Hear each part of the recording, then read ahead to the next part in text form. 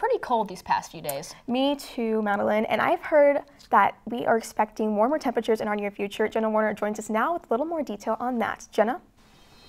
Yes, guys, so it's warmer right now than it was yesterday. So we in Norman were 24 degrees warmer than we were yesterday 24 hours ago. They're 26 degrees warmer in Tulsa than they were at this time yesterday. So we are in a warming trend right now. This is current temperatures across the region 65 in Norman, 64 in Tulsa. So it's pretty warm.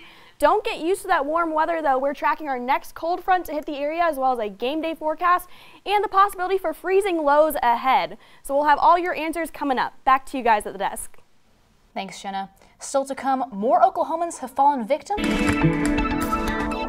Welcome back to OU Nightly, guys. It is a cloudless day here in Norman, and it's pretty warm out, 64 degrees, and we have a blustery southwest wind hitting us 17 miles per hour. So we do have a wind shift coming up tonight, so our southwest winds will be shifting to a north wind tonight by midnight, reaching us to 41 at midnight. So it'll be kind of chilly tonight because of that north wind bringing in some cooler air with us.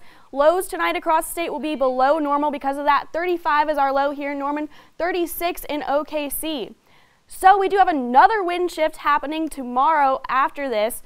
So we'll be in the north at 8 a.m. coming from the north and our winds will be shifting from the south to end our workday, so we'll have those southerly winds heating us up in the afternoon, and we'll be reaching just average across the state here in Oklahoma, 61 as our high, tomorrow 62 in OKC.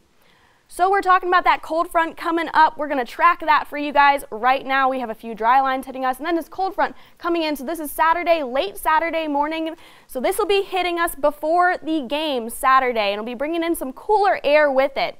And then on Sunday, we have a high pressure system situating itself over the area, so we'll be dry here for a bit. How will this cold front affect the game? So it's a late kickoff Saturday, 6.30. We'll be in the lower 40s for the game. We'll have some cloud cover around, and we have a wind coming from the northeast, 10 to 18 miles per hour, so a bit blustery too. So it'll be a chilly one out there, definitely because of that cold front. Rounding out your next two days, we have that wind shift tomorrow, and it'll be warm, 61 degrees is your high. And tomorrow, cold front, we have a chilly night ahead. We actually have to, Saturday night, we'll be hitting freezing for our low, and then we'll be hitting 26 for our low on Sunday. So it'll be pretty cold this weekend, but we'll be kind of warming up this week. And we do have a rain chance on Wednesday, so that's the day before Thanksgiving, biggest travel day of the year. So let's hope that that's all right for everyone traveling out of Will Rogers or anywhere for Thanksgiving. Mm -hmm. Definitely people need to make sure that they are careful.